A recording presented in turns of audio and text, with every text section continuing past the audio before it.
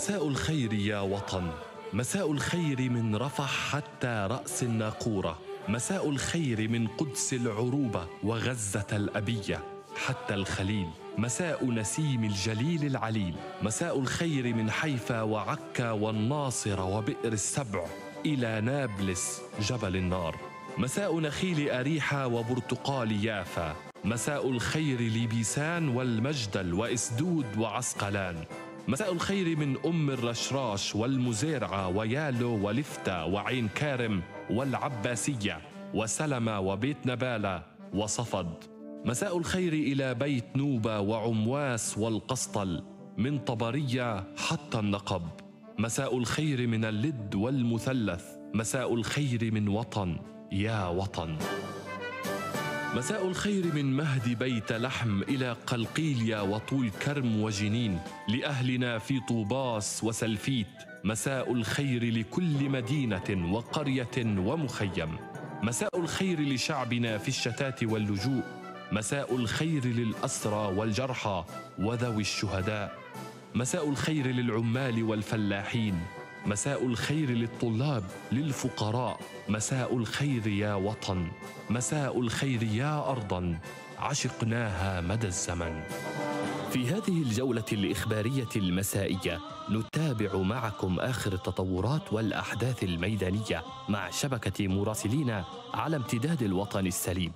نقرأ الخبر نقدمه ونحلله بعين فلسطين.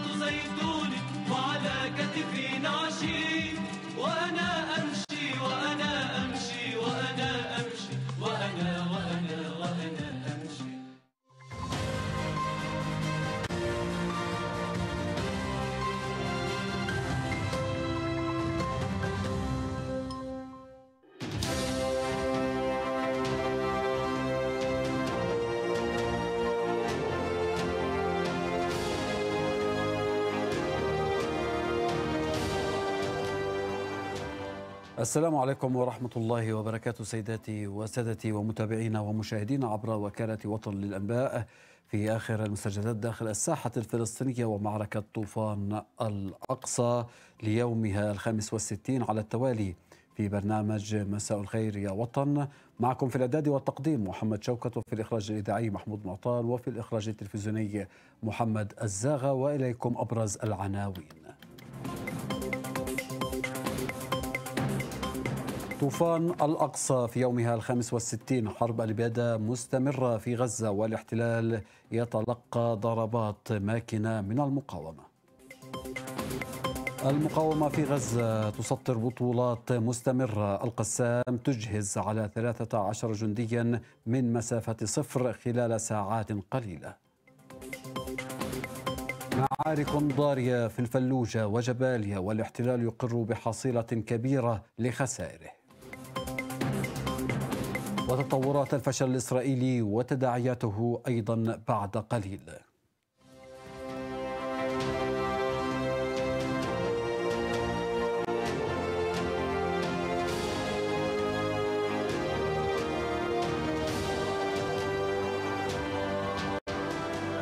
أهلا ومرحبا بكم. اذا سيداتي وسادتي في ظل التطورات المتسارعة أبو عبيدة في كلمة مسجلة. قال لن يخرج أسير إسرائيلي واحد إلا بشروط المقاومة والقادم هو أعظم. اذا قال أبو عبيدة الناطق باسم كتاب القسام الجناح العسكري لحركة المقاومة الإسلامية حماس إنه لن يخرج أحد من الأسرى أو المحتجزين الإسرائيليين في قطاع غزة إلا من خلال التبادل المشروط الذي أعلنته المقاومة منذ بداية معركة طوفان الأقصى. وأكد أبو عبيدة في كلمة مسجلة مسجلة أنه لا إسرائيل ولا داعموها يستطيعون أخذ أسراهم أحياء دون تبادل ونزول عن شروط المقاومة والقسام. وأضاف مؤكدا لا نتنياهو ولا حكومته ولا صهاينة البيت الأبيض يستطيعون تحرير جندي واحد والعملية الفاشلة أثبتت ذلك في إشارة إلى إفشال محاولة تحرير أسير إسرائيلي ومقتله قبل أيام. أيضا شدد على أن الهدنة المؤقتة أثبتت مصداقية كتائب القسام بأن أحد آه، من أسرى العدو لم ولن يخرج إلا بشروط المقاومة. ميدانيا قال أيضا أبو عبيدة أن كتائب القسام دمرت 180 آلية عسكرية إسرائيلية كليا أو جزئيا خلال العشرة أيام الماضية. أي منذ انتهاء الهدنة الإنسانية المؤقتة مطلع ديسمبر كانون الأول الجاري. وأضاف أن مقاتلي القسام هاجموا آليات الإسرائيلية بقذائف الياسين 105 وتندم وعبوات شواظ مؤكدا قتل عدد كبير من الجنود الإسرائيليين بشكل محقق. أيضا لفت إلى أن كتائب الكتائب هاجمت قوات إسرائيلية راجلة متحصنة في البنايات بقذائف مضادة للأفراد وأجهزت عليها من مسافة صفر مبينا أيضا أن عناصر حماس تصدوا لقوات الاحتلال المتمركزة بمحاور ما قبل انتهاء الهدنة أو المتوغلة بمحاور جديدة. وقال إن كتاب القسام نفذت عددا كبيرا من العمليات النوعية بين مهاجمة أو مهاجمة القوات الراجلة وأيضا القنص وتفجير الألغام وتطرق إلى قصف كتائب القسام مناطق عدة في غلاف غزة وعسقلان بعشرات الصواريخ المتنوعة. في ضوء آه، هذه التطورات الميدانية المتسارعة أكد أبو عبيدة أن الاحتلال فشل في شمال قطاع غزة وجنوبه وسيفشل أكثر كلما استمر عدوانه وانتقل إلى مناطق أخرى من القطاع مؤكدا أن الاحتلال لا يزال يتلقى الضربات والقادم هو أعظم. آه، وحول ما يكرره قادة إسرائيل بإعلان هدف القضاء على المقاومة قال أبو عبيدة إن هذه التصريحات كلام للاستهلاك المحلي الإسرائيلي ولإرضاء اليمين المتعطش للدماء. أشار إلى أن الاحتلال يواصل عدوانه الهمجي على شعبنا والانتقام من المدنيين مجددا التأكيد أن ما يحقق العدوان البري هو التدمير والقتل العشوائي فقط لا غير وختم كلامه أنه أو إنه لا خيار أمامنا إلا القتال لمواجهة المحرقة التي يقوم بها العدو بهدف كسر إرادة شعبنا. اذا هذه آه، تفاصيل الكلمة التي كانت قبل قليل آه، تحدث بها المتحدث باسم أو الناطق الإعلامي باسم العسكري باسم القسام أبو عبيدة حيث قال لن يخرج أسير إسرائيلي واحد إلا بشروط المقاومة والقادم هو أعظم.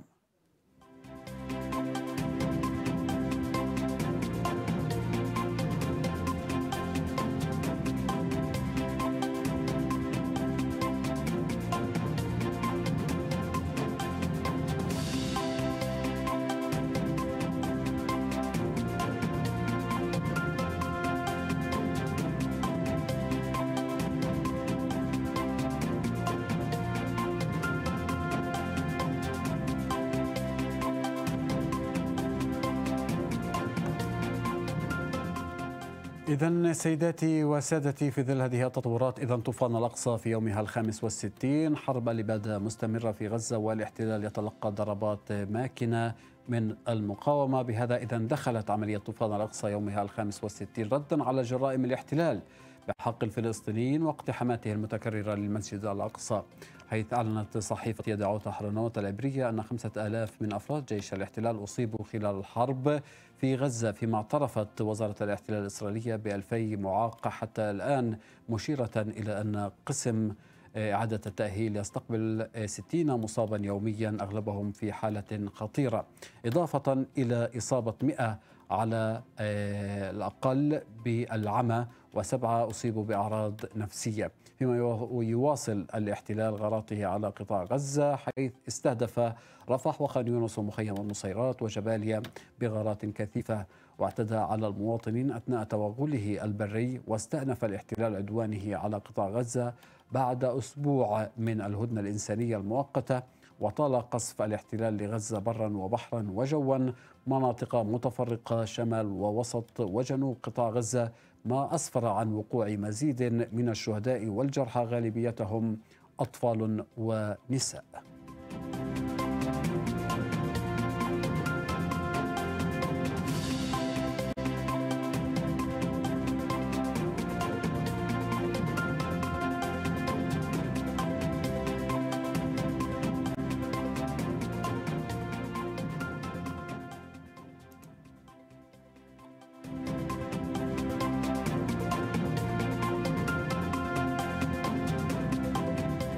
إذا في ظل هذه التطورات المتسارعة تخوض المقاومة في قطاع غزة ملاحم واشتباكات بطولية ونفذت كمائن نوعية وقصفوا تحشدات الاحتلال وهاجموا قوات خاصة خلال مواجهة قوات الاحتلال في محاولة توغل في قطاع غزة وكذبوها وكبدوها خسائر فادحة في الجنود والدبابات حيث أجهزت على 13 آه، جنديا من جيش الاحتلال من مسافة الصفر خلال ساعات قليلة. وأعلنت كتاب القسام في بلاغ عسكري ظهر اليوم أن مجاهديها تمكنوا من الإجهاز على ثلاثة من جنود الاحتلال من مسافة صفر بعد الإطباق على آلية عسكرية صهيونية في منطقة الفلوجة شمال قطاع غزة.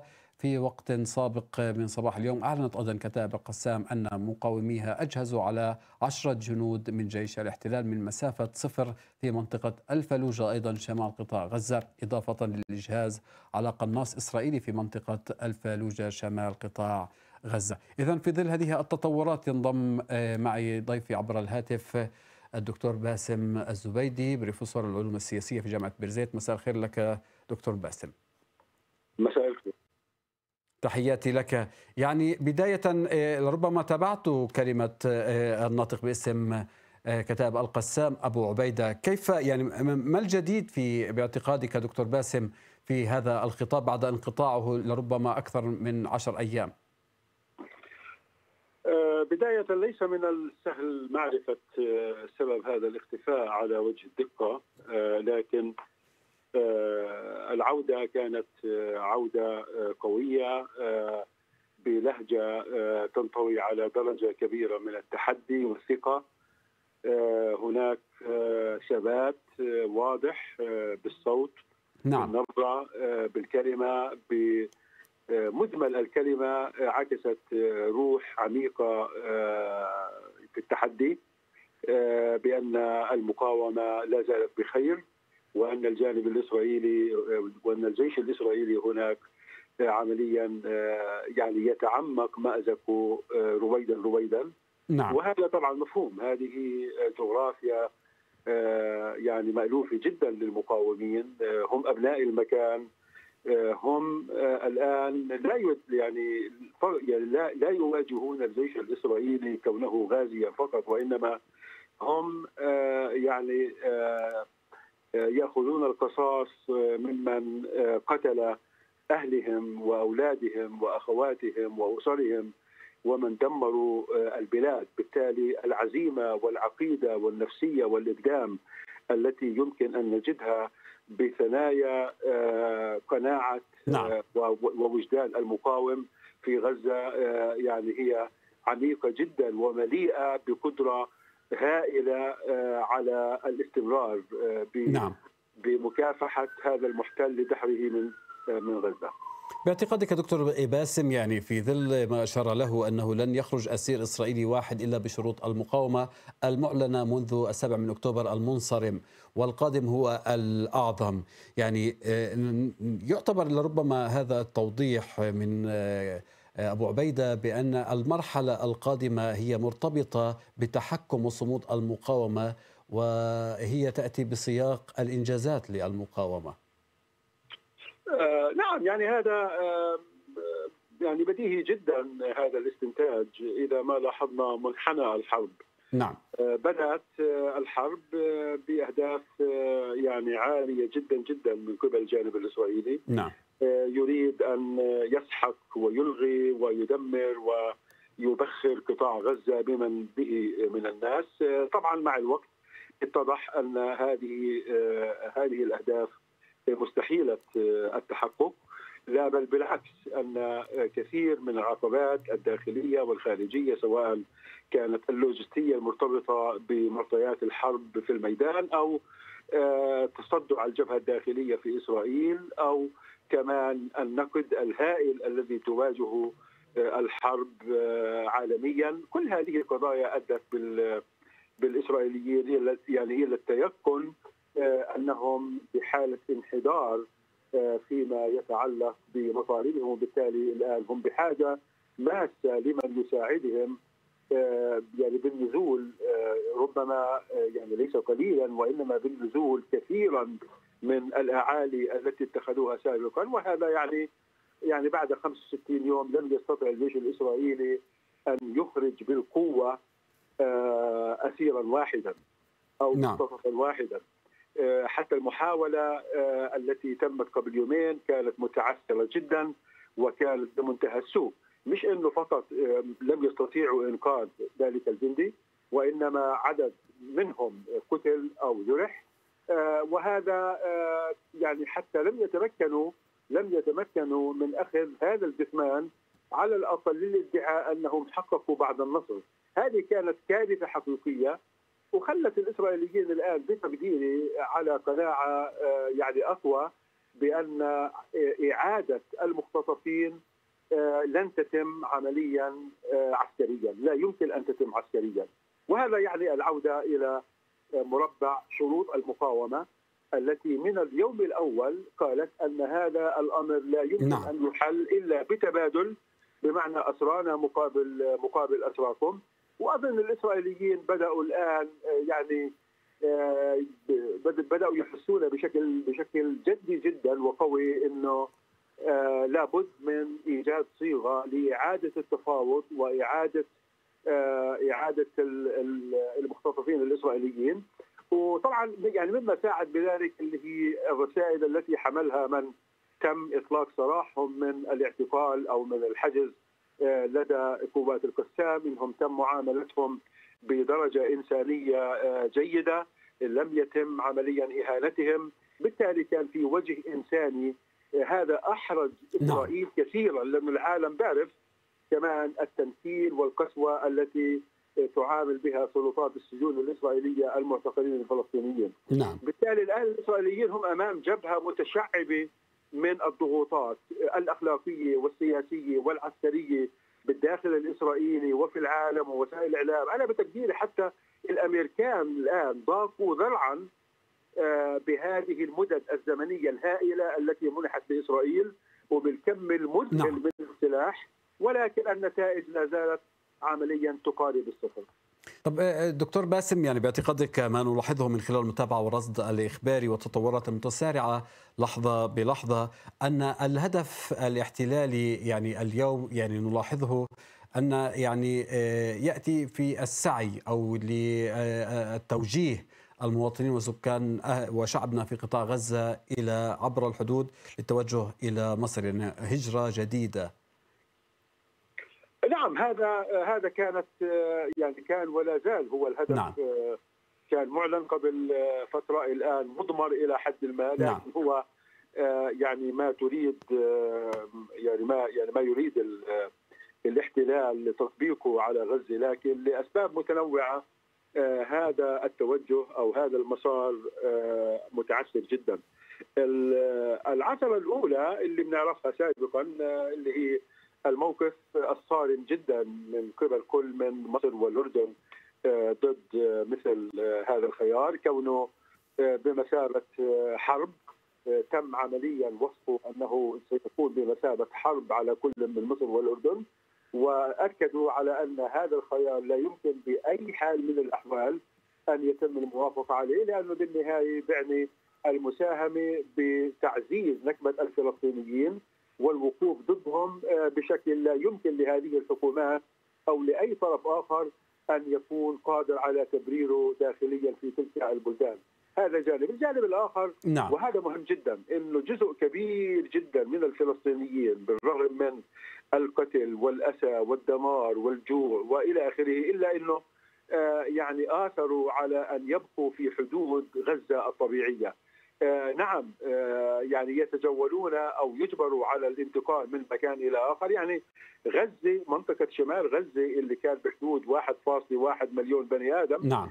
عمليا لا زال موجود فيها حتى اللحظة حتى هذه اللحظة مش أقل من 750 ألف رغم المجازر البشعة التي تم اختلافها فيها. نعم هناك البعض آه، ممن انتقلوا من الشمال إلى الجنوب لكن علينا أن نركز كمان على أن الغالبية الساحقة يقولون أنهم سيبقون في ديارهم حتى لو آه، يعني لو لو بقيوا على على نعم. هذا الركام طبعا متذكرين تماما بشاعة اللجوء وبشاعة النكبة آه، من ال 48 واللي واضح تماما إنه الفلسطينيين آه، يعني فهموا الدرس ولا يمكن بأي حال من الأحوال لهذه التجربة ان تتكرر وامنيتي أمنيتي أن ينتقل هذا النوع من الإحساس على الضفة الغربية لأن الضفة الغربية شئنا ما بين راح يعني سيأتي ذلك اليوم التي سيكون للضفة الغربية فيها كمان ملحمتها لأنه بنهاية المطاف كلنا بنعرف أنه بالنسبة لإسرائيل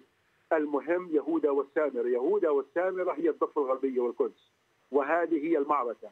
وبتقديري نعم. حتى نعم. موضوع غزة يعني سيبدو أمرا هامشيا إذا ما قارنا بمستقبل الصراع القادم بتقديري اللي راح تكون آه، الضفه الغربيه ساحة آه، ساحة الصراع، بالتالي هذا درس آه، يعني بشكل استباقي ينبغي أن نستدخله ونتعاطى معه بكل جدية أن مسألة الترحيل ومسألة الهجرة ومسألة الهروب إلى الأردن أو سواه هذا أمر يجب أن يكون خطا احمرا في أي حال من الأحوال. في في في رد يعني كان في إطار ما أشرت له دكتور باسم لعضو المكتب آه، السياسي لحماس أسامة حمدان قال إن آه، إن كان هنالك تهجير يعني لا قدر الله لشعبنا في إلى سيناء فسندك المقاومة يعني ستدك أيضا إسرائيل من سيناء وهذا لربما يعني يأتي في سياق السؤال الذي أريد أن أطرحه عليك وهو يعني الخطاب السياسي إن كان على الصعيد الفلسطيني والصعيد الإسرائيلي أو الدولي مختلف عن أرض الواقع لماذا؟ آه يعني آه شوف آه إسرائيل عندما آه يتم وقف إطلاق النار لن تخرج من غزة. نعم. يعني لن تخرج من غزة إلا بعد أن تبدأ ترتيبات سياسية معينة وهذا النوع من الترتيبات حتى الآن هو في مهب الريح وغامض جدا. نعم. ما في تفاهم حوله بين إسرائيل والولايات المتحدة واللي هم طرفين الاساسيين وبغض النظر عن هذا النوع من الترتيب نعم. آه سيعني بنهاية المطاف أن المقاومة الفلسطينية ليس فقط القسام وسرايا القدس وإنما مجمل حركة المقاومة الفلسطينية ستتعامل مع الوجود الإسرائيلي على أنه إعادة احتلال لقطاع غزة وبالتالي من المشروع تماما إعلان المقاومة ضده وستبدأ تلك المقاومة السرية تحت الأرض من من الأنفاق يعني إلى آخره. وهنا بنستحضر تجربة عمليا جنوب لبنان عندما آه، يعني قاومت ضد الاحتلال الإسرائيلي في منطقة الجنوب وأجبروا على الخروج آه، من جنوب لبنان لاحقا وبتقديري هذا ما ينتظر الفلسطينيين الآن. إذا ما تم وقف إطلاق النار بأي وقت الآن بكرة اللي بعده بعد أسبوع هذا لا يعني إلا التالي. نعم. أن مرحلة جديدة من المقاومة السرية العنيفة والقوية والمنظمة والموجعة جدا التي سيتم بدءها سيتم بدءها ضد ليس فقط ضد الإسرائيليين وإنما بتقديري ضد أي سلطة أو أي جماعة أو أو أو أي فريق ممكن أن يأتي مستفيدا من الدعم الإسرائيلي والدعم والدعم الأمريكي. يعني كما يعني كما يقال أن يأتي على ظهر دبابة نعم. إسرائيلية نعم. يعني بصرف النظر عن هذه الجهة ستكون أيضا هي في عين العاصفة وستكون من الجماعات التي سيتم توجيه آه، السلاح ضدها والمقاومة لأنه عندئذ ستكون العلاقة بين إسرائيل وأمريكا من جهة وتلك السلطة القادمة علاقة عضوية بمعنى أنها لن تفعل إلا ما تريد إسرائيل وهذا أمر لا يمكن بأي حال من الأحوال لا حماس ولا غير حماس أن توافق عليه في غزة. نعم، سؤال أخير يعني أنت يعني أشرت إلى نقطة آه، يأتي بانعكاسها على دور تفعيل منظمة التحرير والحديث عن آه، تفعيل دور منظمة التحرير بحاضنة الكل الفلسطيني. آه، الاستراتيجية المعتمدة لتفعيلها ما هي دكتور باسم باعتقادك؟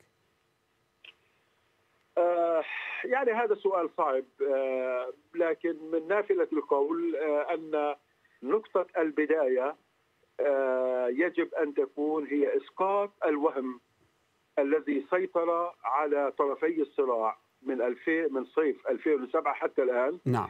بأنه أحد هذه الأطراف سيكون بإمكانه أن أن يعني أن يلحق يعني أن أن يقصي الطرف الآخر. آه، واضح تماما إنه إحنا الآن بمرحلة لابد من سلطة رام الله أن تعترف وبشكل حقيقي وصادق نعم أن حماس والآخرين شركاء بكل معنى الكلمة ولهم عمليا دور وحق في أن يكونوا جزء من عملية اتخاذ القرار تماما آه، كما هو مطلوب أيضا من حماس أن تعتبر الآخرين مكملين نعم. لفعلها الكفاحي لأنه الصمود اللي بنلاحظه الآن بغزة مش بس صمود القسام.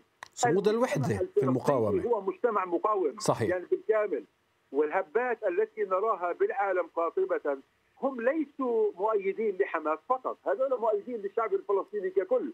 بالتالي لدينا رصيد هائل جدا من العطاء ومن المؤيدين ومن الداعمين وعلى قيادات القيادات السياسية الفلسطينية وعلى وجه الخصوص فتح وحماس أن آه، يبرعوا بإيجاد صيغة معقولة للتعايش. إذا بدها تكون هذه الصيغة إحياء منظمة التحرير وإنعاشها لكي تكون ممثلة حقيقية للناس فاهلا وسهلا. إذا تعرض ذلك أعتقد بده يكون اخلاقيا وسياسيا مطلوب من الفريقين إيجاد تلك الصيغة التي يمكن أن يتعايش في كنفها جميع الفلسطينيين وأن يرتبوا أمورهم الداخلية وأن يستعدوا للجولات القادمة آه، من آه، من حروب يعني في في في ظل هذه الأوضاع وفي ظل هذا العدوان أم ما بعد ذلك؟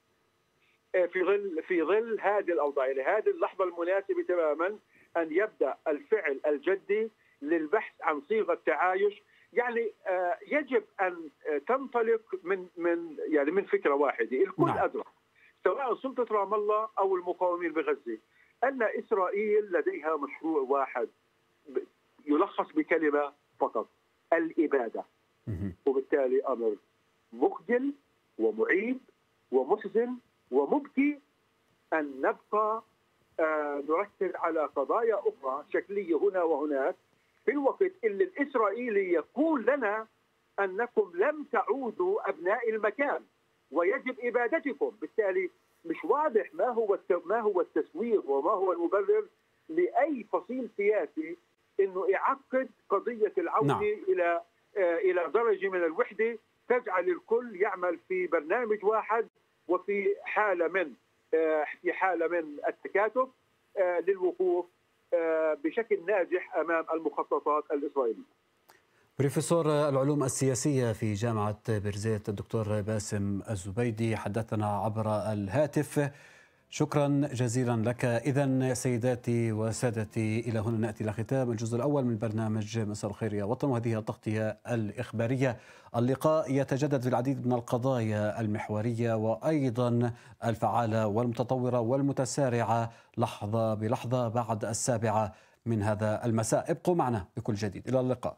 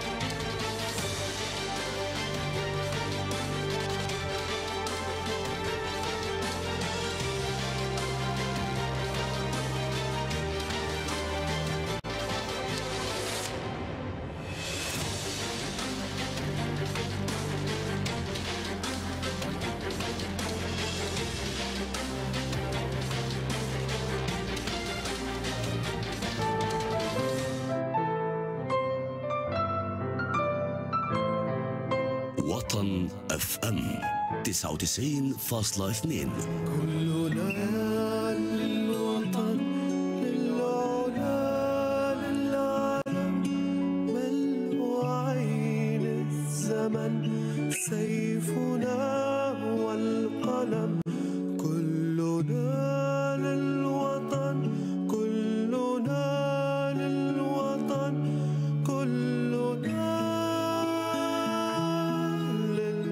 رأس الساعة برعاية جوال وبالتل. الساعة الآن السابعة بتوقيت القدس. أخبار وطن في دقيقتين على رأس كل ساعة من الثامنة صباحا حتى الثامنة مساء. برعاية شركة الجنيدي لمنتجات الألبان والمواد الغذائية. الجنيدي خير من يهتم بصحتكم.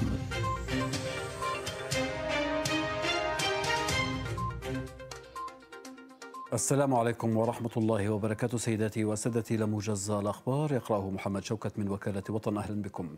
كتاب القسام تعلن أن مقاتليها تمكنوا من القضاء على قوة إسرائيلية من 15 جنديا بالكامل في منطقة المعري شمال شرق خان يونس جنوبي قطاع غزة. كتاب القسام في لبنان تعلن أنها قصفت بدفعات من الصواريخ مواقع عسكرية إسرائيلية في ليمان وخربة ماعر بالجليل الغربي وذلك ردا على المجازر الصهيونية بحق المدنيين في قطاع غزة. الناطق باسم كتاب القسام أبو عبيدة يؤكد تدمير أكثر من 180 آلية عسكرية آه، كليا أو جزئيا منذ انتهاء الهدنة مشيرا إلى أن الاحتلال لا يزال يتلقى من الضربات والقادم أعظم.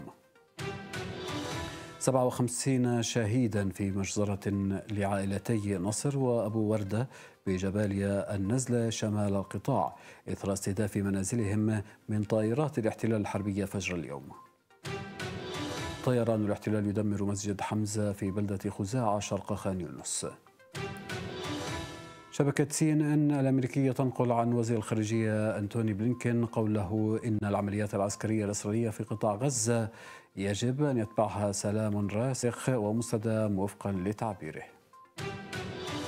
إصابة نساء وأطفال باستهداف قوات الاحتلال بوابة مركز إيواء ونقطة طبية في مقر للأنروا بمخيم جباليا شمالي القطاع.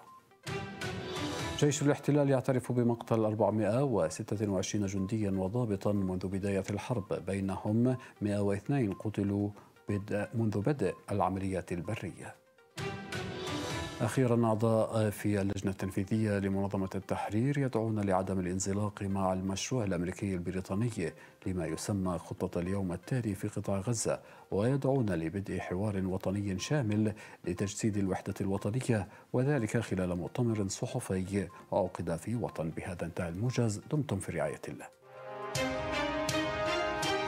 برعاية شركة الجنيدي لمنتجات الألبان والمواد الغذائية. الجنيدي خير من يهتم بصحتكم.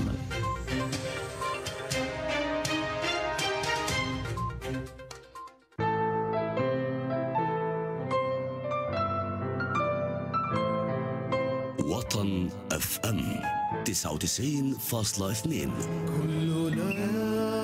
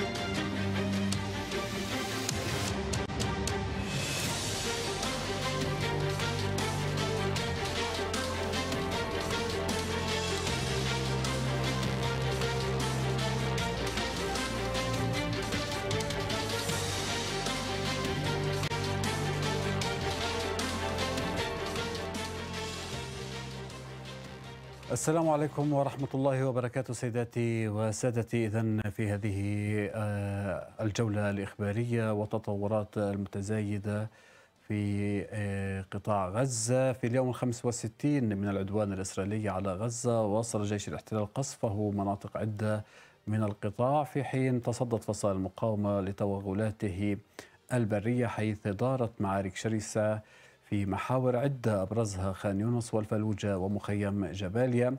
وقد ارتفعت حصيلة الشهداء والجرحى جراء العدوان المتواصل منذ السابع من أكتوبر تشرين الأول الماضي على غزة إلى 17700 شهيد و 48780 جريحا في حين أقر جيش الاحتلال بمقتل 426 جنديا وضابطا منذ بدء الحرب والعدوان وإصابة آخرين بينهم.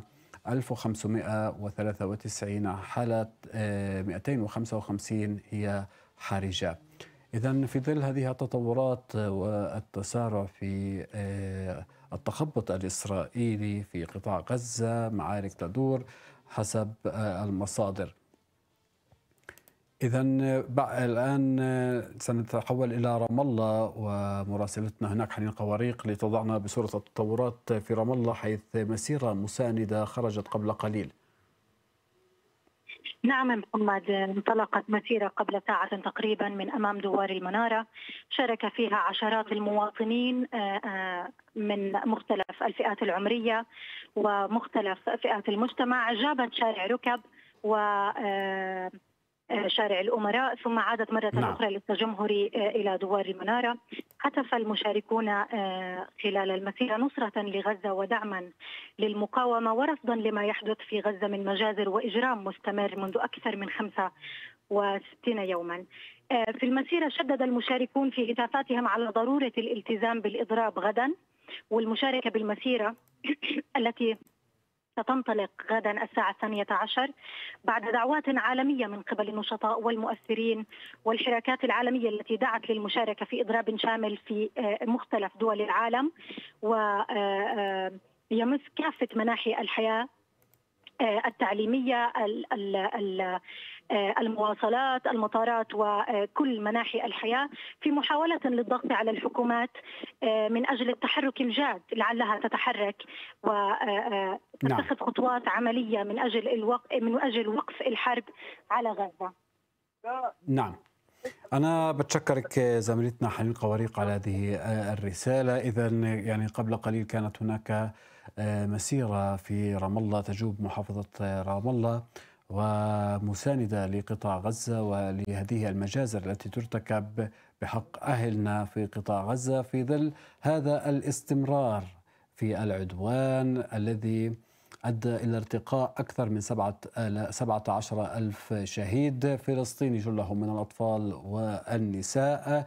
نتحدث عن سبعة آلاف, آلاف بين المفقودين من الشعب الفلسطيني في قطاع غزة.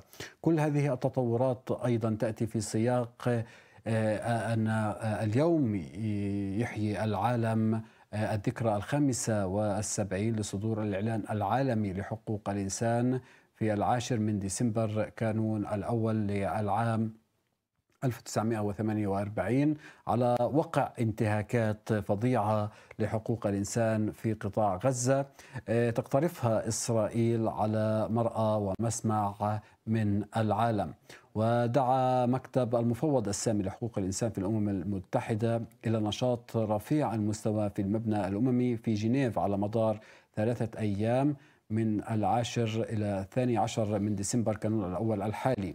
سيطرح برنامج النشاط أربع مواضيع رئيسية للنقاش حول مستقبل حقوق الإنسان وعلاقتها بقضايا الأمم والسلام. ضيفي عبر الهاتف المحامي فارس أبو الحسن ناشط حقوقي اجتماعي. مساء الخير لك أستاذ فارس. يسعد مساك أخي أحمد أنت وكل السادة المستمعين والمشاهدين. تحياتي لك يعني في في ظل يعني إيه، ما نتابعه من تطورات وارتكاب للمجازر بحق أهلنا في قطاع غزة اليوم هو الذكرى الخامسة والسبعين لإعلان العالمي لحقوق الإنسان والاحتفال على أنقاض إيه، قطاع غزة. كيف تتابع النواحي القانونية باعتقادك أستاذ فارس في ظل تسارع وتيرة الإجرام بحق شعبنا في قطاع غزة؟ والله آه، طبعا كل الاحترام لك ولسؤالك. هو يعني هي 75 عام على الإعلان العالمي لحقوق الإنسان وأيضا على الاتفاقية الدولية الخاصة آه، بمنع الإبادة الجماعية. نعم. آه، نفس الاتفاقية اللي يعني تم الإعلان عنها وتوقيعها من قبل المجتمع الدولي. يعني هي آه، 75 عام آه، ذكرى ال- الموضوعين المهمين المرتبطات في موضوع حقوق الإنسان. ولكن الصراحة يعني بتأتي هاي الذكرى في ظل هذا العدوان الهمجي البربري على شعبنا الفلسطيني في قطاع غزة وفي الضفة الغربية كمان يعني وأنت نعم. تعلم والكل يعلم ما تتعرض له الضفة الغربية من هجمات ومن تضييق ومن قتل ومن اقتحامات وهدم منازل وقصف. يعني لا تقل ال- ال- الصورة عن يعني ما يجري. طبعا مع الفارق في الأحداث في قطاع غزة وما يتعرض له القطاع الحبيب يعني من تدمير آه، ممنهج لكل ما هو آه، حي في قطاع آه، حقيقة يعني هذا هذا يعني هذه الذكرى يعني تلقي عبء كبير على المجتمع الدولي وعلى المؤسسات آه، الدولية آه، بوضع حد لهذه الممارسات. ونتمنى إنها تكون ال- يعني ال- الوقفات والاعلانات وال- والتضامن الدولي الواضح مع آه، آه، الرواية الفلسطينية ومع حقوق الشعب الفلسطيني. يأتي أكله في إنهاء يعني إسرائيل ومن يقف خلفها. آه، من دول ومؤسسات إنهم يعني يضعوا حل لهذه الانتهاكات اليومية بحق شعب. نعم طب آه، في ظل آه، يعني آه، ال- المساهم والأمور التي يسعى لها الاحتلال في عملية التهجير لشعبنا في قطاع غزة يعني هذا الأمر يأتي في سياق هذه المجازر ودفع الناس للهجرة ولعبور الحدود يعني هذا الأمر كيف يعني يتم معالجته باعتقادك أستاذ فارس والله يا أخي يعني ال- ال- المعالجة الأولى بأنه يعني شعبنا في قطاع غزة يعني أعلنها صريحة بأنه لن يكون هناك تهجير أو هجرة ولن يتركوا بيوتهم ومنازلهم وأرضهم. وهذا واضح يعني من الصور آه، وال- والمقابلات اللي بيتم نقلها من من القطاع الحبيب. وطبعا بكل تأكيد يعني من خلال ال- الموقف المشكور لل يعني الدولة المصرية بعدم السماح بفتح الحدود والسماح بالهجره لشعبنا في قطاع غزة. وبكل تأكيد يعني المجتمع الدولي وبكل تأكيد طبعا هذه جريمة جريمة حرب إنك أنت آه، يعني تقوم بإجبار الناس على النزوح وترك منازلهم ونقلهم إلى مناطق. هذه بحد ذاتها جريمة حرب. المفروض إنه المجتمع الدولي أيضا ياخذ موقف يعني صريح وواضح ضد ما تقوم به إسرائيل ويعني آه، للأسف آه، يعني ما شاهدناه آه، أول أمس من حق النقد الفيتو للولايات المتحدة الأمريكية. كل المبادئ كل القانون الدولي العام والإنساني يعني الصراحة على حف يعني على شفا الانهيار نتيجة هذا هذا الكيل بمكيالين وهذه ال- ال- ال- الازدواجية في المعايير. يعني الصراحة بطل في أي مصداقية للقانون الدولي أو القانون الدولي الإنساني فيما آه، يعني تتمتع به إسرائيل من حماية وغطاء سياسي وعسكري وحربي من من هذه الدول التي تساندها وتدعي وتتغنى بحقوق الإنسان. نعم. في ظل يعني ما أشرت له في مجلس الأمن يعني تفعيل المادة 99 من ميثاق الأمم المتحدة آه، يعني للفت الانتباه للوضع الإنساني الكارثي في قطاع غزة يعني مثل هذه المواد لماذا لا يتم تفعيلها باعتقادك أستاذ فارس؟ آه، طبعا أخي آه، أول شيء يعني هو آه، السيد الأمين العام للأمم المتحدة نعم. طبعا مشكورا على لفت الانتباه ل آه، يعني آه، استخدام المادة 99 وهي صلاحيته في لفت نظر مجلس الأمن نعم. للقضايا اللي بتشكل يعني انتهاك للسلم والأمن الدوليين نعم. يعني خطوة آه، يعني ممتازة منه ويعني حقيقة بتسلط الضوء على آه، عظم الجريمة وأهمية ما يجري في قطاع غزة من انتهاكات إسرائيلية ومن يعني جرائم وتدمير ولكن للأسف الشديد يعني هذه يعني مع الأيام عم تثبت آه، المنظمة الدولية بأنها غير قادرة في مؤسساتها وآلية عملها على وقف آه، الحروب والمآسي وال والتدمير لأي شعب ممكن يتعرض لنفس ما يتعرض له آه، آه، قطاع غزة.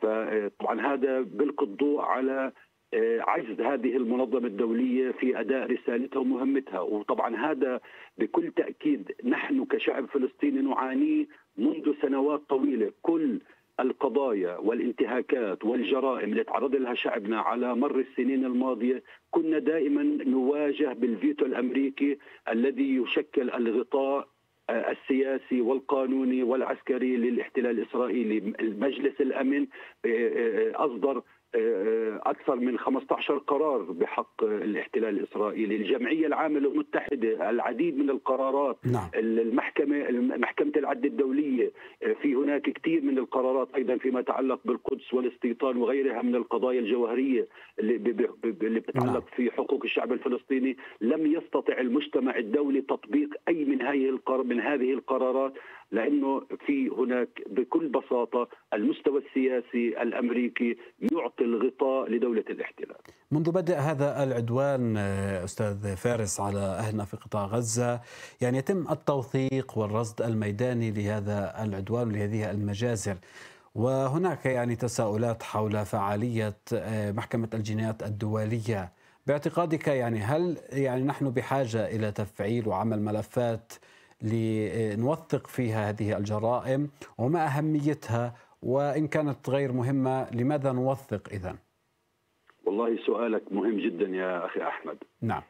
الصراحة يعني إحنا يعني كشعب فلسطيني مرينا بكثير من الجرائم والانتهاكات الإسرائيلية. وهل يعني سؤالك في محله ويعني الصراحة يعني بتسلط الضوء على المعضلة. إنه نعم. هل إحنا هاي الانتهاكات عم يعني تستثمر كما يجب؟ نعم. تستثمر آه، ليس يعني آه، بالمعنى المادي ولكن بالمعنى القانوني والسياسي. طبعا هنا يأتي دور السياسيين. هل يستثمرون هذا الشيء بملاحقة؟ وهل يستطيعون أصلا ملاحقة المجرمين الإسرائيليين؟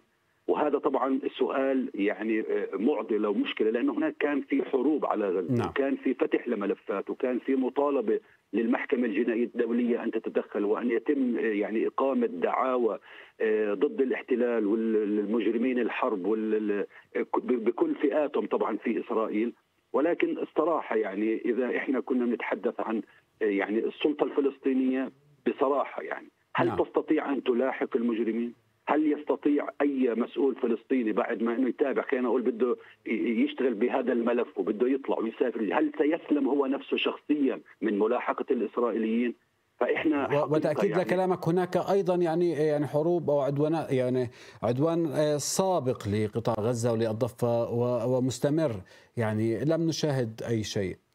للأسف للأسف, للأسف. يعني أنت سؤالك في مكان وأنا بتمنى أنا بتمنى يعني هاي يعني بهاي الحرب وفي هذه المرحلة وطبعا أنت أنا متأكد تماما وجهة نظرك إنه وجهة نظر المستمعين راح تكون بهذا الاتجاه. ما قبل 7 أكتوبر لن يكون كما بعده.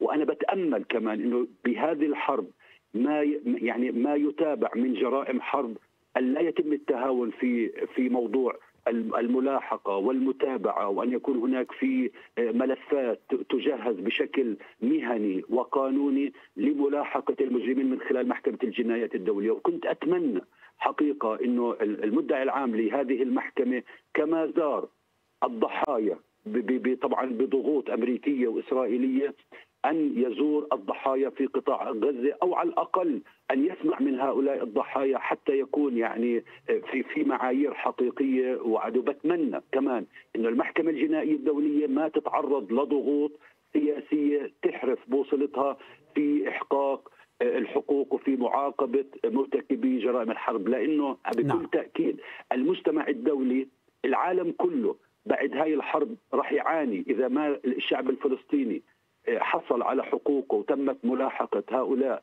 المجرمين. أنا متأكد تماما أن العالم سيعيش مرحلة من الظلام. سيكون هناك مجرمين في دول أخرى لن يلاحقوا لأنه إسرائيل ومجرميها لم يلاحقوا. نعم. آه، سؤال أخير أستاذ فارس يعني فيما تطرقنا له آه، أثناء حوارنا مع حضرتك. يعني يأتي سؤال يعني عن الاستراتيجية القانونية المعمول بها أو التي يجب أن آه، يتم تفعيلها وعمل قاعدة جديدة تأتي من آه، خيارات التجارب السابقة التي أشرت لها كيف يمكن تفعيل هذه الاستراتيجية القانونية وعمل حقبة كاملة زي ما أشرت حضرتك حتى نرتقي بتفعيل وإجبار المحاكم الجنية على استقبال هذه الملفات وتنفيذ الأوامر التي تصدر عنها. كل الاحترام لك أخي أحمد. يعني الصراحة سؤال عميق. وبكل تأكيد إحنا بحاجة يعني ل خلينا نقول عمل من نوع آخر. يعني ما بزبط الصراحة أنه إحنا نضلنا بنفس الآليات السابقة. زي ما حكيت ما بعد ليس كما قبل. وبالتالي حقيقة بحاجة ل يعني آليات عمل ونبتكر آليات عمل وآلي يعني وتعاون وتنسيق وتكامل بين مختلف المؤسسات الدولية والمحلية يعني نعم. المحامي الفرنسي اللي شكل مجموعة من المحامين الفرنسيين الفرنسيين يعني محاكمة وملاحقة ومحاسبة مجرمي الحرب أمام المحاكم الدولية، أنا بتمنى إنه يكون في تحركات ويعني السفارات الفلسطينية والقنصليات والدبلوماسية نعم. الفلسطينية تتحرك بهذا الاتجاه، المؤسسات أيضا الداعمة لقضيتنا ولشعبنا في في في في الخارج إنها تقوم أيضا بهذا الدور نعم. المهم جدا أنا من وجهة نظري القانوني والحقوقي إنه بياخذ يعني دوره بفاعلية. وعلى فكرة أخي أحمد كنت حابب أنا وياك نتحدث على موضوع الاسرى نعم. لأنه الصراحة إحنا في وهذا طبعا شيء مرتبط في نفس الموضوع أكيد يعني صحيح تفضل. إحنا إحنا إحنا في موضوع يعني في العالم كله طبعا منشغل وإحنا منشغلين والكل يعني عم بتابع لحظة بلحظة ويوم بيوم يعني ما يجري في قطاع غزة. ولكن وانت بتعرف وانت متابع أنا متأكد بموضوع الاسرى الصراحة ما يتعرض له الاسرى من انتهاكات يعني شيء يعني يندى له الجبين. إحنا في عندنا تقريبا 3200 أسير بعد الحرب على قطاع غزة. هدول يعني آه، وأنا متأكد تماما كمان اللي بيتابعوا موضوع الاسرى كانوا يلاحظوا بأنه الهجمة على الاسرى بدأت من قبل 17 مش من بعد 17 التضييق عليهم وسحب إنجازاتهم كان بوادر واضحة فيما سبق ولكن صار في استغلال لفرصة ما يجري في قطاع غزة حتى يتم الاستفراد والهجوم الكاسح على الاسرى طبعا أنا ما بدي أهول الحمد لله إنه في أخبار يعني شوية الموضوع خفت وطئته آه، منذ تقريبا أسبوع على الاسرى ولكن هذا لا يعني بإنه آه، حياة الاسرى آه، يعني هي بحدها الأدنى المقبول. الاصل يكون في هناك تحرك وكمان يعني بحاجة لإنه موضوع الاسرى يكون في تعاون وتنسيق بين المؤسسات العاملة ويكون في اهتمام. إذا كان الموضوع بحاجة لمحامين بحاجة لطواقم عمل بحاجة لاتصال وتواصل مع الصليب الأحمر حتى ياخذ دوره كمان في هذا الموضوع اللي ممنوع يزور الاسرى الصليب الأحمر ممنوع يزور الاسرى ابتداء من 7 أكتوبر حتى اليوم. المفروض يكون برضه في ضغط دولي من الجهات يعني الداعمة والموقع على اتفاقية جنيف حتى تجبر إسرائيل على آه، عودة الزيارات للصليب الأحمر آه، في فيما أشرت له يعني في تأكيد لحديثك أستاذ فارس حول يعني ما جاءت به إحدى الأسيرات التي يعني تم الإفراج عنها من خلال الصفقة في نعم. الأيام نعم. القليلة الماضية آه، أشارت إلى أن يعني ضابط التحقيق في مخابرات الاحتلال قال لها أنت الآن معتقلة كأسيرة حرب ونحن اليوم آه، فعلنا القانون الحربي وبناء عليه هذه القوانين وهذه آه، القيود هي عبارة عن نظام الحرب في إسرائيل. فهذا يعني يعني يعني كل الاحترام لك هذا هذا نوع اسمع هذا هذا نوع كده أقول لك من الإرهاب. هي هو بيحاول يخوفها. إحنا أقول لك إحنا بنتمنى بنتمنى إنه يعامل الأسرى معاملة أسرى الحروب. للأسف الشديد هو مش هي مخالفة. أسرى صحيح. أسرى, أسرى, أسرى الحرب أخي أحمد ممنوع يتحقق معاهم. اسرى الحرب ممنوع يعرضوا على محاكم.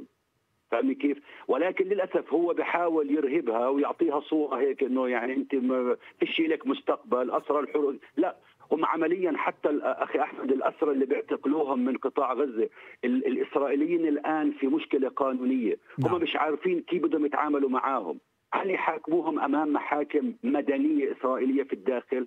هل يطبقوا عليهم قانون المحارب غير الشرعي اللي هم طبقوه على نعم. حزب الله سابقا وعلى الأسرى أيضا من قطاع غزة في السابق فهم ال- اليوم الإسرائيليين في مشكلة قانونية بهذا الخصوص هم طلبوا طلبوا من هيئة شؤون الأسرى آه، حضور جلسات محاكمة وتمديد توقيف للأسرى من قطاع غزة ال- الهيئة مشكورة طبعا رفضت الحضور لهي الجلسات لأنه طلبوا أنه يكون في زيارات للأسرى حتى نعرف إحنا هدول الناس اللي بندافع عنهم مين هم؟ أقدر أنا أتعرف عليه لهذا الشخص اللي بدي أمثله وكمان أعرف صحيح. قضيته وأعرف أمثله يعني بشكل قانوني سليم. طبعا ال- الإسرائيليين رفضوا. بالتالي الهيئة رفضت. وهذا موقف مشكورين عليه. هلأ هم شو عملوا عشان يعطوا ال- المبا... يعني ال...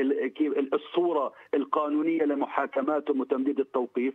جابوا اللي هم آه، ما يسمى بسنيغوريا سيبوري اللي هي محامي الدولة اللي بتوكله المحكمة يترافع عن ال- الأسرى اللي من قطاع غزة. ولكن طبعا هذا هذا هذا إجراء غير قانوني وبنفس بنفس الوقت يعني هذا ملف الأسرى في قطاع غزة وملف الأسرى ما بعد سبعة عشرة اللي بيتعاملوا معاهم الإسرائيليين أيضا بشكل مختلف حتى اللي بالضفة الغربية. المفروض يكون يعني من ضمن ال- ال- الملفات الضاغطة في يعني من خلال المؤسسات الدولية وطريقة تعامل الاحتلال معهم نعم. أنا بتشكرك آه، المحامي فارس الحسن الناشط الحقوقي والاجتماعي. حدثنا عبر الهاتف. إذا شكرا مرة أخرى. في ظل هذه التطورات شكرا لحضرتك. في ظل هذه التطورات المتسارعة إذا كما ذكرنا أن هذا المحتل ما زال يرتكب المزيد من الجرائم والمجازر في قطاع غزة في ظل هذا العدوان لليوم الخامس والستين على التوالي في قطاع غزة ما زال هذا العدوان مستمر. هناك أكثر من 17 ألف شهيد وأكثر من 42 ألف بين جريح ومصاب وأيضا سبعة آلاف هم مفقودين. حتى اللحظة لا أحد يعلم أين هم. هم تحت الأنقاض أم هم استشهدوا؟ حتى اللحظة لا أحد يعرف شيء. الحملة على المعتقلات الفلسطينية وأسرانا داخل المعتقلات كما ذكر المحامي فارس أبو الحسن. قال أن الحملة مستمرة بحق أسرانا الاضطهاد مستمر التنكيل مستمر في ظل هذا العدوان الذي يشمل الكل الفلسطيني. حملة التهجير على قطاع غزة مستمرة بالسياسة والنهج الصهيوني الإسرائيلي وبالحلفاء وأيضا إرادة شعبنا أيضا هي مستمرة في ظل هذا العدوان. ابقوا معنا في هذه التغطية.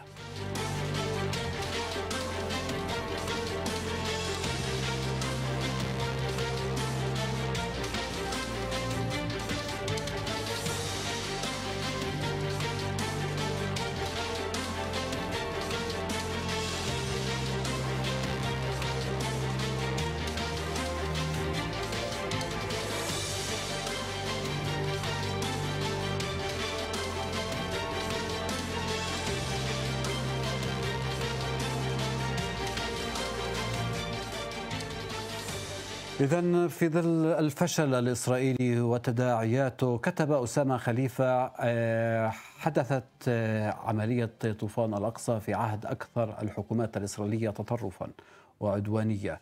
وهو أمر يختلف كثيرا لو حدثت في عهد أي حكومة إسرائيلية أخرى.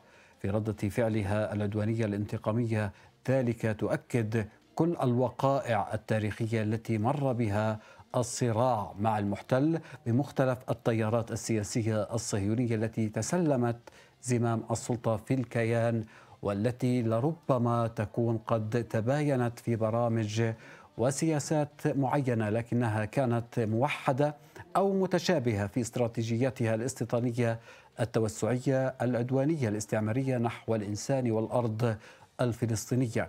من هذه الناحية قد تختلف من حيث الدرجة لا من حيث النوع.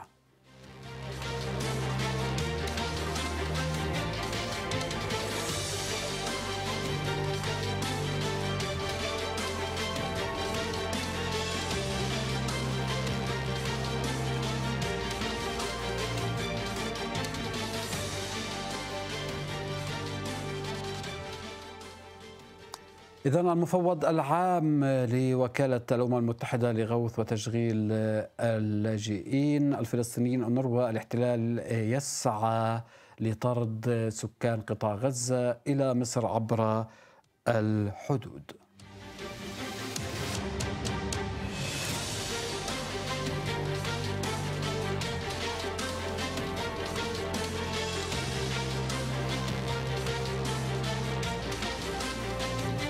أيضا قال المحلل العسكري الإسرائيلي يؤاف زيتون اليوم إن جيشهم يدرك أن تدمير حركة المقاومة الإسلامية في قطاع غزة لن يتم خلال أشهر قليلة.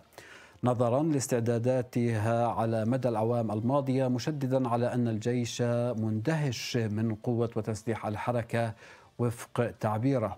وتحديث وفي حديث لزيتون في تحليل نشرته صحيفة يدعوت أحرنوت العبرية عن مهلة أو مهلة ضمنية أمريكية لإسرائيل كي تنهي الحرب في نهاية ديسمبر كانون الأول الجاري أو حتى نهاية يناير كانون الثاني المقبل. إذا صارت الأمور على ما يرام دون وقوع حدث صادم يوقف الزخم. ويصر المسؤولين الإسرائيليون على استمرار الحرب على أمل إنهاء حكم حماس المتواصل لغزة منذ صيف 2007 وسبعة والقضاء على القدرات العسكرية للحركة والمقاومة في قطاع غزة التي تؤكد أنها آه، تقاوم تقاوم الاحتلال الإسرائيلي لفلسطين منذ عقود. وأضاف المحلل الإسرائيلي على الأرض يندهش الجيش كل يوم من مدى قوة حماس. نقف هنا مع ضيفي عبر سكايب الدكتور علي الأعور المختص في الشؤون الإسرائيلية. مساء الخير لك دكتور علي. أهلا مساء الخير أخي محمد. تحياتي لكم وللسادة المشاهدين.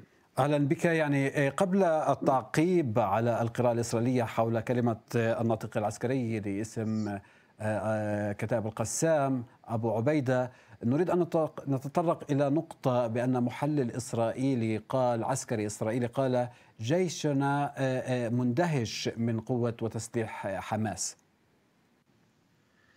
نعم يبدو أن هذا الخبر أيضا وتعليق للصحفي الإسرائيلي أو المحلل العسكري الإسرائيلي آه، وأعتقد أنه عاموس هرئيل آه، المحلل العسكري في صحيفة هارت هو يؤاف زيتون يؤاف زيتون أيضا هو نعم. في القناة الحادي نعم. عشر نعم, نعم. صحيح قناة كان الرسمية نعم. على أي حال أيضا تحدث عاموس هرئيل بهذا المعنى وتحدث أيضا عدد من الصحفيين الإسرائيليين ولكن الآن إلى حد ما بدأت حتى الإعلام الإسرائيلي وبدأ الإسرائيلي يتحدثون عن خسائر، هذه الأرقام أخي محمد لم نسمعها من قبل. نعم.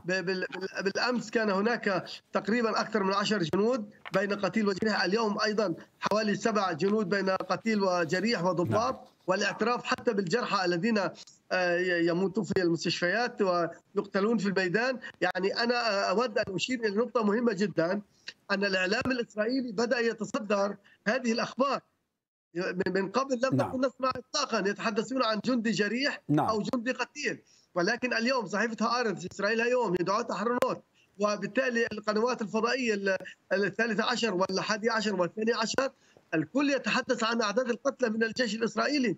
وبالأمس كما تحدثنا كان آه، آه، أول أمس ابن جابي أيزنكوت آه، أمس كان ابن اخت نعم. وبالتالي هذه الأعداد الآن ربما يسأل آه، أحد المهتمين آه، هل هذه الأعداد ربما تؤثر على قرار نتنياهو وبالتالي يوقف الحرب؟ ما مدى تأثير زيادة أعداد القتلى في الجيش الإسرائيلي لقرار الحرب وبالتالي توجه نتنياهو إلى هدنة وربما مفاوضات أو صفقة تبادل أسرى وما إلى ذلك؟ أنا بتقديري الآن الإعلام الإسرائيلي بدأ يهتم أكثر بأعداد القتلى. نعم صحيح نتنياهو هيأ الرأي العام وقال لهم هناك خسائر كبيرة وهناك ثمن باهظ ولكن الإسرائيليين لم يتوقعوا أن حركة المقاومة الإسلامية حماس وفصائل المقاومة تمتلك هذا السلاح. نعم. يعني إذا سمحت لي بتعليق بسيط على كلمة أبو عبيدة الناطق الرسمي باسم كتاب القسام أمام العالم تحدث عن 180 آه، تدمير وتعطيل وإعطاب أكثر من 180 آلية عسكرية إسرائيلية بين ناقله جند وبين مدرعات وبين دبابات المركبة. يعني هذه أرقام خيالية لا يمكن. ويؤكد بيقول لك أنا موثقها بالصوت والصورة. يعني أبو عبيدة عندما يتحدث يتحدث إلى العالم بالصوت والصورة. هناك توثيق تصديق لكل ما يقوله. وبالتالي أنا بتقديري أعداد القتلى في الجيش الإسرائيلي ربما الآن بدأت تزداد بشكل كبير جدا وبالتالي تنعكس على قرار نتنياهو. مع العلم أن نتنياهو حتى هذه اللحظة لم يهتم ومجلس الحرب بالمناسبة أخي محمد لم يهتم حتى بأعداد القتلى في الجيش الإسرائيلي. ولو كان يهتم بأعداد القتلى أنا بتقديري الهدنة التي كانت كانت فرصة لنتنياهو من أجل ربما مفاوضات شاملة ووقف إطلاق نار شامل. ولكن يبدو أن لا اعداد القتلى في الجيش الإسرائيلي يهتم آه، بها نتنياهو ولم تعد من أولوياته بالإضافة إلى 138 أسير إسرائيلي أيضا لم تعد من أولويات نتنياهو وبالتالي الآن نتنياهو يبحث له عن مستقبل يبحث عن حياته السياسية الخاصة ويبحث عن نصر. اليوم أخي محمد للمشاهدين الكرام وحصريا وخبر عاجل الآن في صحيفة دعوت احرونوت نتنياهو يقول لكتائب القسام عليكم أن تسلموا أنفسكم ولا تموتوا من أجل السنوار. يعني تخيل أصبح هدف إسرائيل هو إلقاء القبض على السنوار. يعني آه، إلى أين وصلت الأمور؟ هذا يؤكد فعلا تسليح المقاومة، المقاومة العنيفة، القوة، الإرادة، العزيمة، الأيديولوجيا التي يؤمن بها آه، كتاب القسام ومقاتلي القسام وبالتالي الآن كل المعطيات على الأرض أخي محمد تشير إلى أن المقاومة تسجل انتصارات وإنجازات، حتى وإن دخل الجيش الإسرائيلي، معروف 300 ألف جندي إسرائيلي الآن في قطاع غزة وعلى حدود قطاع غزة وتسليح أباتشي وإف 16 وإف 18 وإف 35 و طائرات مسيرة وصواريخ موجهة حتى استخدام الذكاء الاصطناعي أخي محمد يتم استخدام الذكاء الاصطناعي في عملية توجيه الأهداف والعودة وعملية باك بالهدف المقصود وما إلى ذلك، على أي حال أنا بتقديري نعم هناك حديث في الإعلام الإسرائيلي الآن عن أعداد القتلى وهناك حديث في الإعلام الإسرائيلي عن تسليح حركة المقاومة وفصائل المقاومة وقدرتها على الصمود أمام الجيش الإسرائيلي. إيه، لو تابعنا أيضا آه، نقطة هامه أشار لها أبو عبيدة.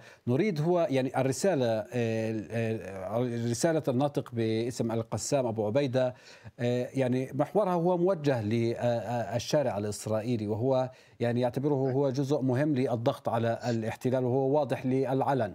لكن آه، هناك نقطة هامة أشار لها في خطابه وربما هي عابرة كانت أن القسام آه، لن يعطي أسرى الاحتلال. لإسرائيل دون شروطه ولن يستطيعوا أن يخرجوهم أحياء.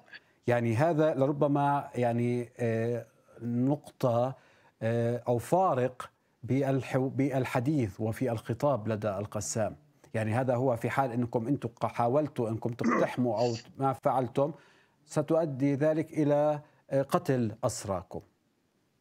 كما نعم فعل. بالتاكيد أنا بتقديري هذه النقطة المركزية تحدث عن القتال وتحدث عن المعارك العنيفة وهذا كان معروف بالمعارك العنيفة التي كان يتحدث عنها كتاب القسام وسرايا القدس في السجاعية في دير البلح في خان يونس في القرارة في جحر الديك في حي الزيتون في جباليا أيضا حتى هذه اللحظة هناك معارك عنيفة تحدثوا عنها ولكن الشيء الجديد الذي جاء به أبو عبيدة وأراد إيصال رسالة إلى الشارع الإسرائيلي تحديدا إلى المتظاهرين الآن في شوارع نعم. تل أبيب وهي الرسالة الواضحة تماما أمام العالم بأن يا نتنياهو ال 110 أسرى إسرائيليين الذين تم إعادتهم وإرجاعهم إلى إسرائيل كان بشروط المقاومة وبالتفاوض مع المقاومة والمقاومة هي التي فرضت شروطها وآلية وطريقة وتوقيت الإفراج عنهم والمكان الذي يتم الإفراج عنه ووقف كافة الطيران الجوي الإسرائيلي في قطاع غزة لمدة ستة أو سبعة أيام. يعني انظر أخي محمد هذه رسالة واضحة. أيضا أراد أن يكمل الرسالة ويقول لنتنياهو لن تحصلوا على أي أسير إسرائيلي حي إلا عن طريق المفاوضات إلا بصفقه تبادل اسرى ومن خلال هدنة وربما وقف إطلاق نار شامل. هذه الرسالة أبو عبيدة أنا تقديري هذه الرسالة المهمة هذه الميكانيزم هي الديناميك اللي هو بيتحدث عنه آه، أبو عبيدة إنه يا جماعة في عمليات على الأرض في عمليات في قتال في قتال. ولكن الشيء المهم أنتم الآن متظاهرين في تل أبيب بمئات وعشرات الآلاف ديروا بالكم لن يعود أي أسير إسرائيلي إلا من خلال صفقة تبادل اسرى وهذا ما أشارت إليه يوم أمس القناة الثالث عشر والقناة الثاني عشر. ولكن نتنياهو أراد أن يرد على أبو عبيدة وقال للتو يعني عبر صحيفة يدعوت اهرنوت وفي خطاب له قال بأن هناك العشرات من كتاب القسام يسلمون أنفسهم وبالتالي أراد أن يقول لهم لا تموت من أجل السنوار أنا ما رايته هناك فلسطينيين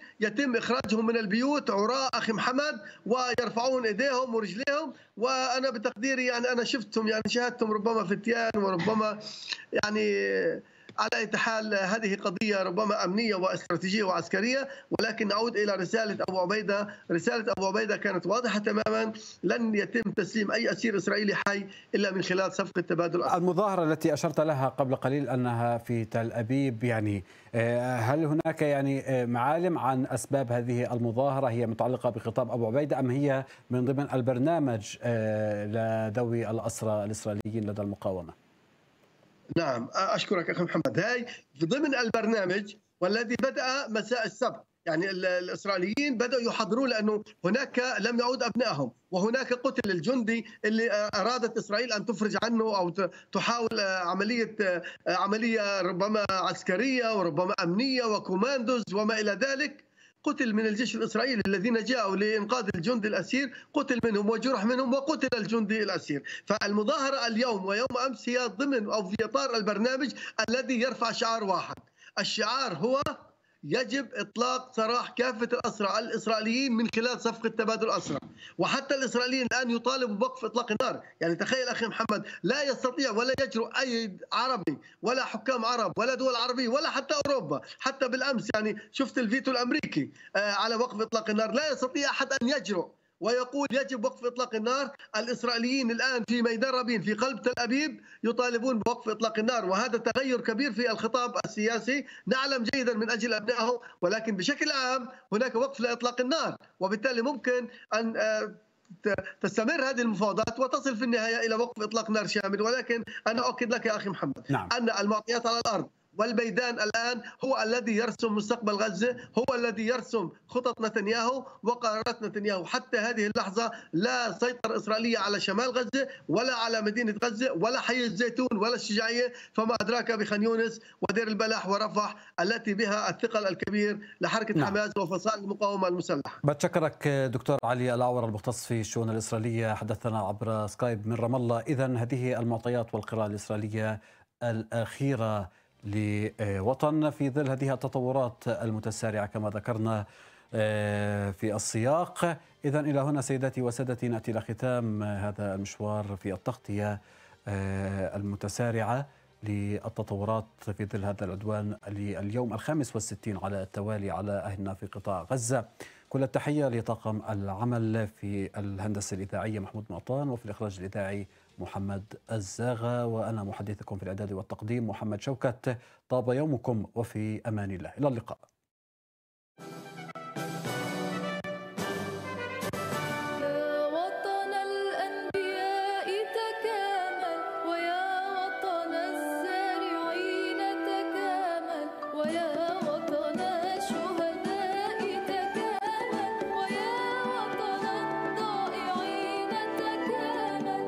مساء الخير يا وطن. مساء الخير من رفح حتى رأس الناقورة. مساء الخير من قدس العروبة وغزة الأبية. حتى الخليل. مساء نسيم الجليل العليل. مساء الخير من حيفا وعكا والناصر وبئر السبع. إلى نابلس جبل النار. مساء نخيل أريحة وبرتقال يافا. مساء الخير لبيسان والمجدل وإسدود وعسقلان. مساء الخير من أم الرشراش والمزارعة ويالو ولفتة وعين كارم والعباسية وسلمة وبيت نبالة وصفد. مساء الخير إلى بيت نوبة وعمواس والقسطل من طبرية حتى النقب. مساء الخير من اللد والمثلث. مساء الخير من وطن. يا وطن. مساء الخير من مهد بيت لحم إلى قلقيليا وطول كرم وجنين لأهلنا في طوباس وسلفيت. مساء الخير لكل مدينة وقرية ومخيم مساء الخير لشعبنا في الشتات واللجوء. مساء الخير للأسرى والجرحى وذوي الشهداء. مساء الخير للعمال والفلاحين. مساء الخير للطلاب للفقراء مساء الخير يا وطن مساء الخير يا ارضا عشقناها مدى الزمن في هذه الجولة الإخبارية المسائية نتابع معكم آخر التطورات والأحداث الميدانية مع شبكة مراسلين على امتداد الوطن السليم. نقرأ الخبر نقدمه ونحلله بعين فلسطين.